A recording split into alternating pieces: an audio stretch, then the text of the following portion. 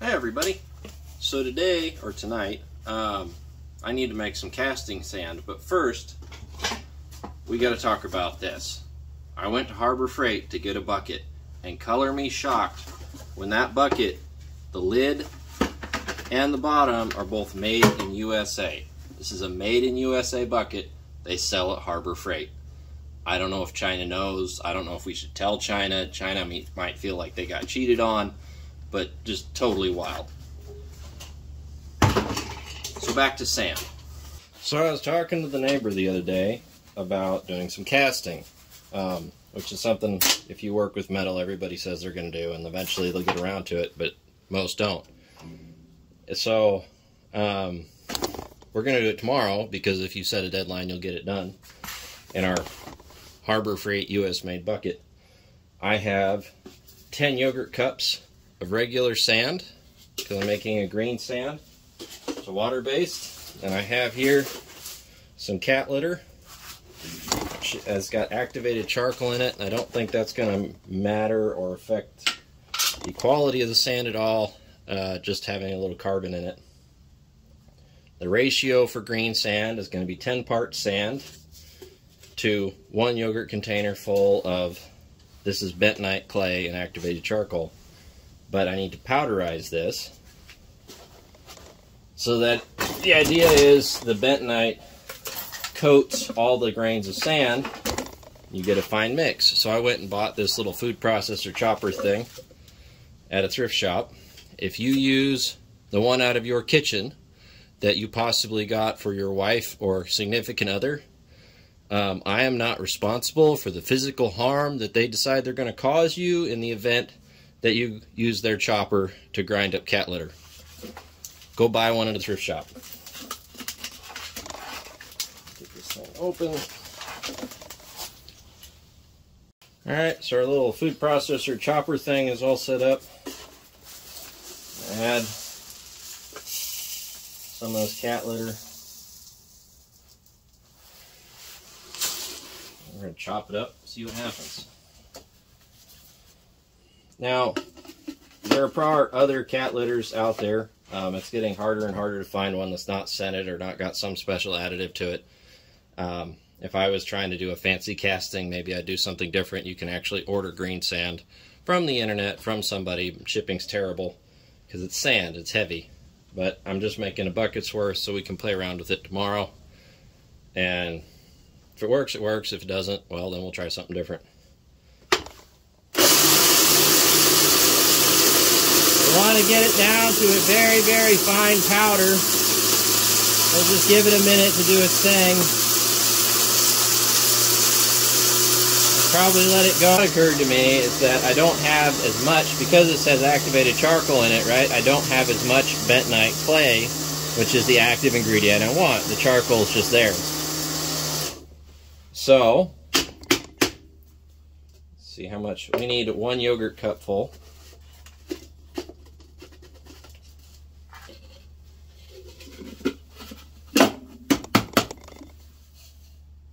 Pretty good powder there.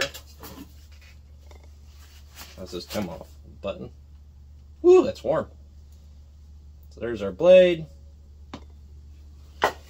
Here's our powderized bentonite clay, charcoal mix.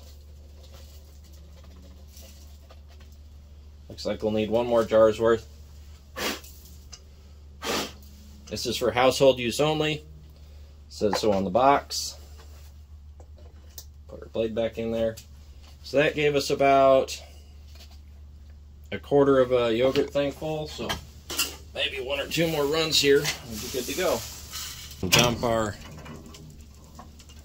bentonite mix into our sand. This is why you want the lid. Breathing small particles of dirt is a great way to get silicosis. Lungs fill up full of dirt. It's not healthy. Don't do it. Okay. So now we need to go mix all that stuff together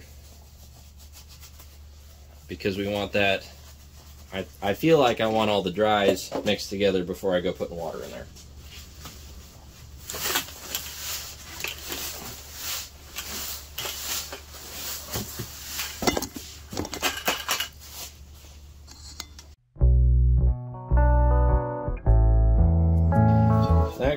Stir in some water. we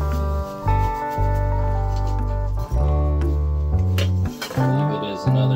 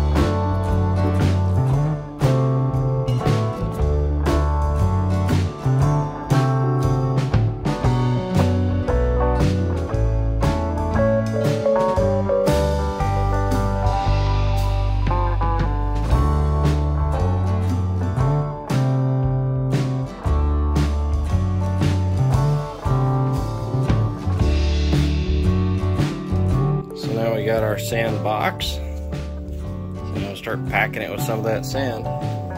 See how it looks. Now this is fairly heavy grit sand, so I might have to add I might have to add something to it to get a nicer finish.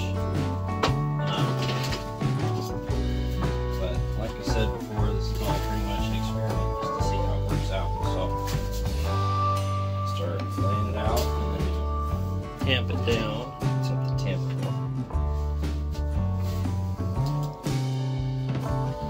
So for those of you playing along at home, this is a one square foot box. 15 inches, 12 inches, and 12 inches.